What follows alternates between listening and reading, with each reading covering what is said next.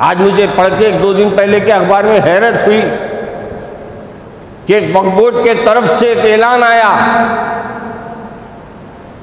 एक न्यूज़ आई है बोर्ड से, हर्राज की।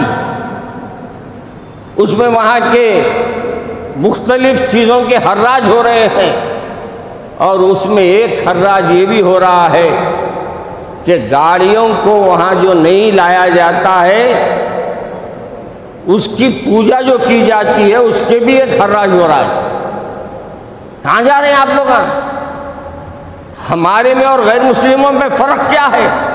उन मंदिर को ले जाके नारियल फोड़ते और तुम ये छिल्लों पे ले जाके नारियल आप फोड़। कौन सिखाए आपको ये अमल? याद रखो मेरे भाई, आज तौबा करो ऐसे अमल से और हमारे वर्क बोर्ड से भी मेरी गुजारिश है। अगर ये अमल वहाँ हो रहा है तो आपका काम है रोकना। ये अमल को आगे बढ़ने मत दीजिए। वरना लोगों का ईमान जितना गारत होगा, उतना ये वक्फ बोर्ड के जिम्मेदारों पे उसका अल्लाह का अजाब होगा। हमको जो भी चीज़ ले, हमारे को बचपने में सिखाया जाता था।